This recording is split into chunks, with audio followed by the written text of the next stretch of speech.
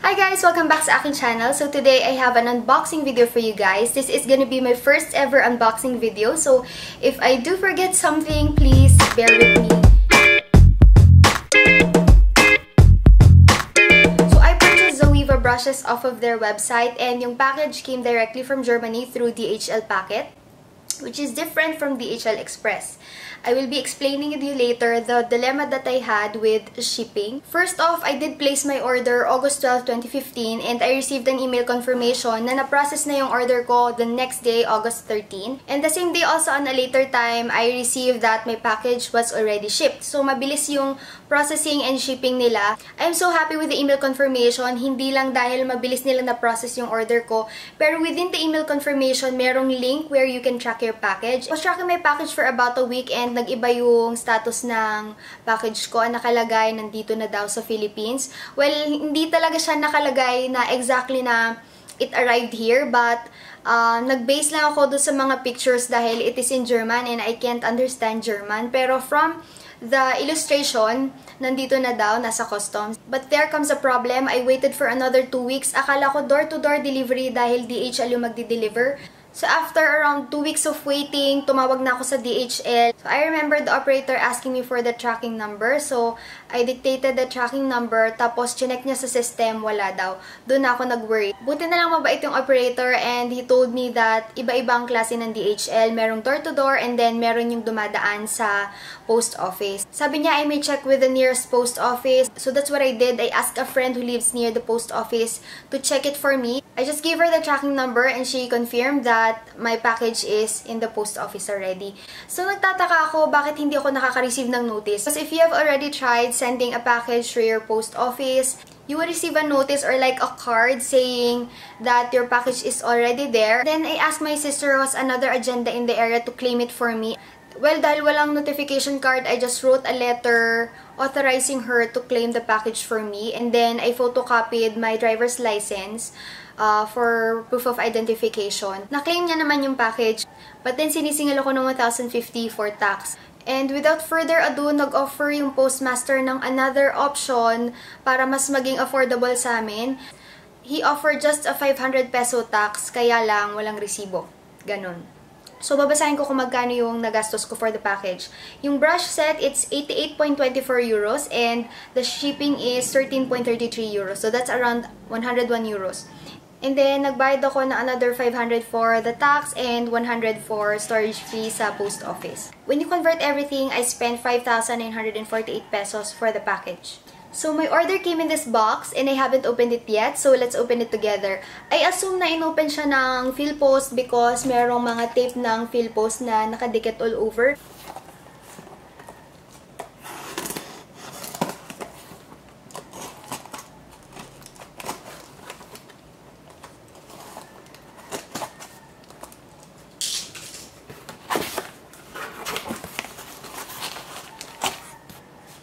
So, the first thing that I got is an invoice.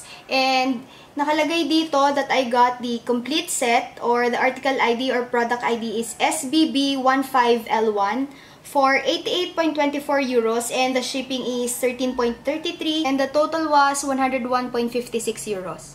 So, dahil natanggal ko na yung nakatakip na invoice, makikita nyo na yung itsura ng package.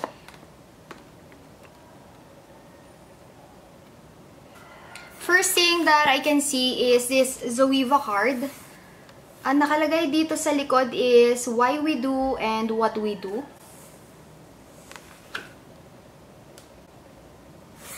The next thing is another Zoeva card. Quality control.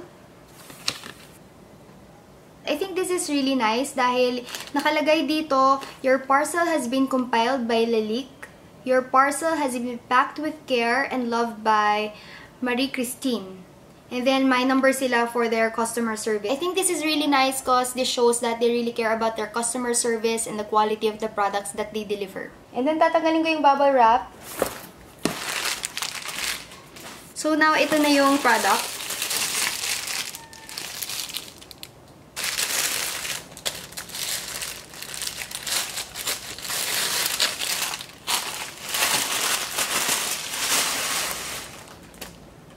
So this is the brush that, that I ordered. It came in a makeup clutch bag and wrapped in a plastic. So let's open this. Malambot siya. I think this is padded. Hindi ko lang sure. And then merong embossed metal that says Zoeva. Opening it. Okay, so ito yung brushes. Oops, may nahulog. Another card which says, the quality of this product has been checked with care by Jessica. And ito na yung brush set. Sorry, nag-glare dahil sa aking lighting. I will show this to you one by one, but first, let's check the inside of the makeup bag. I don't know if this is genuine leather or synthetic leather, pero it's good to the feel. Okay siya. And may, medyo may weight yung bag. So, this is the inside of the bag. Meron siyang isang packet that says It says here, color, love, makeup. So, that is it for the bag. These are the brushes that came in the set and I will show them to you one by one. So, the set contains 6 face brushes and 9 eye brushes. So, let's start with the face brushes. This is the first brush. 104 buffer brush.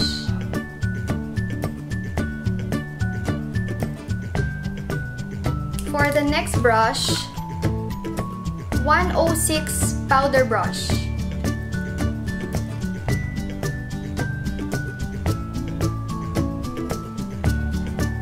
Next brush, we have 102 silk finish. Next brush, we have the 110 face shape.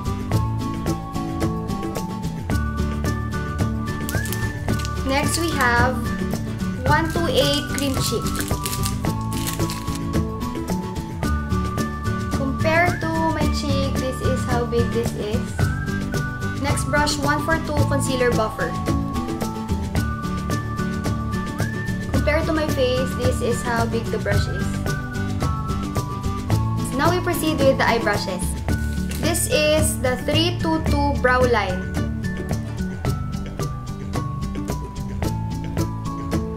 Next is this 317 wing liner.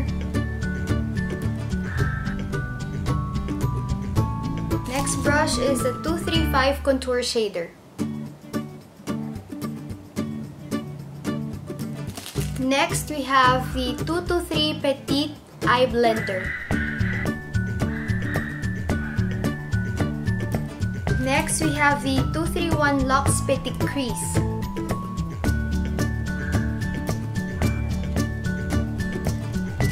On to the next brush, we have the 228 Lux Crease.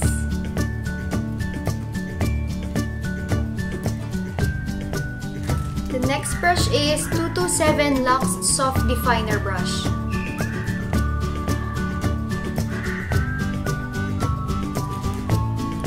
Next, we have the 234 Lux Smoky Shader.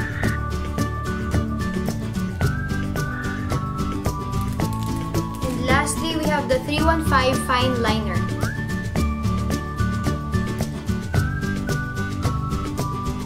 If you're going to ask me about my first impressions without using the brushes, definitely mas makakapal yung handle niya, thicker handle so meron kang better grip when you're doing your makeup. I also have to say na nagustuhan ko yung smaller eye brushes dahil I have small lid areas so mas kailangan ko yung ganong klase ng brushes. And it's even better because of the brush bag. Usually, I do get brush belt or brush roll when I purchase brush sets. Mas magagamit ko yung makeup bag na kasama niya, which is this one.